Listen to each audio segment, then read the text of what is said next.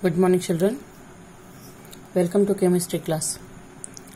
Children, let us move towards the another point of the lesson number 6 metallurgy that is extraction of aluminium uh, by using the process Bayer's process with the help of Bayer's process. In that, the first step is dressing of the ore. Before moving that, let us move towards the ores. Let us know about the main or important ore of aluminium. The first is bauxite and its chemical name is hydrated aluminium oxide. Formula is Al2O3 twice H2O. Another ore is cryolite. Its chemical name is sodium aluminate fluoride and its formula is Na3AlF6. The third one is corundum. Its chemical name is aluminum oxide and formula is Al2O3.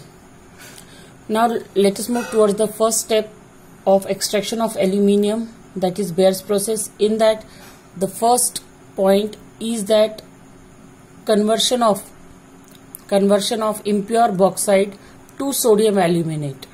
The first step is called as dressing of ore and uh, to the concentrated ore. This is your first step in which conversion of impure bauxite to alum sodium aluminate we have to do that now the in that let us see the reaction. In the reaction impure bauxite that is Al2O3 twice H2O it will treated with conc solution of NaOH that is a base. This is the amphoteric oxide and this is the base concentrated base. We will heat this mixture at degree at about the uh, heat up to the degree 150 to 200 continuously then when this both the reactant impure bauxite and concentrated solution of sodium hydroxide they will react. Then it will gives us sodium aluminated that is nothing but a salt. And it will gives us water as a byproduct. Okay now what is the function of sodium hydroxide? Why we have taken this sodium hydroxide in it? Because bauxite is reacted with uh, conc solution of sodium hydroxide under the pressure for almost 2 hours. And then only we will get the pure aluminium oxide. Because of this what will happen? The impurity which is present in it it will settle down. Now which are the impurity? The impurity it may be iron oxide silica some mud and some other thing. Then as we know that bauxite this impure bauxite is nothing but a, it's amphoteric in nature okay and it react with the base for forming the salt. And because of this what will happen? Because of this because of the reaction all the impurity it will settle down and we can remove it very easily. Now another step is conversion of sodium aluminate to aluminium hydroxide Second step, first step is conversion of impure bauxite to sodium aluminate. Second step is conversion of sodium aluminate to aluminium hydroxide. In that what will happen? The sodium aluminate which we have already prepared in the first reaction, it will hydrolyze by adding water in it and we have to heat this mixture up to 50 to 60 degrees Celsius. Then it will give us sodium hydroxide and aluminium hydroxide. Okay the reactant sodium aluminate it will get hydrolyzed by adding water in it and we have to heat this mixture up to 50 degree to 60 degree celsius. Then it will give us sodium hydroxide and aluminum hydroxide.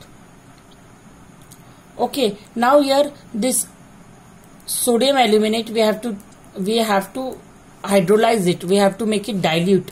Why we have to make it dilute? Because if it uh, remain concentrated then here sodium uh, aluminum hydroxide which we have. Instead of that uh, this is in a liquid form. If we have not hydrolyzed this sodium aluminate then we will get a crystal of aluminum hydroxide.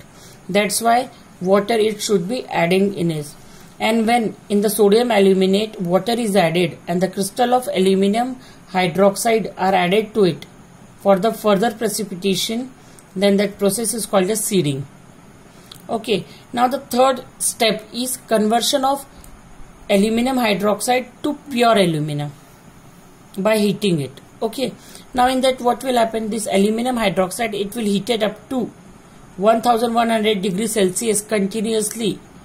Then it will gives us pure alumina and water. It will come out in the form of a vapor. So there are three main steps involved in this that the first conversion of impure bauxite to sodium aluminate. Second conversion of sodium aluminate to so aluminum hydroxide. And the conversion of aluminum hydroxide to pure alumina.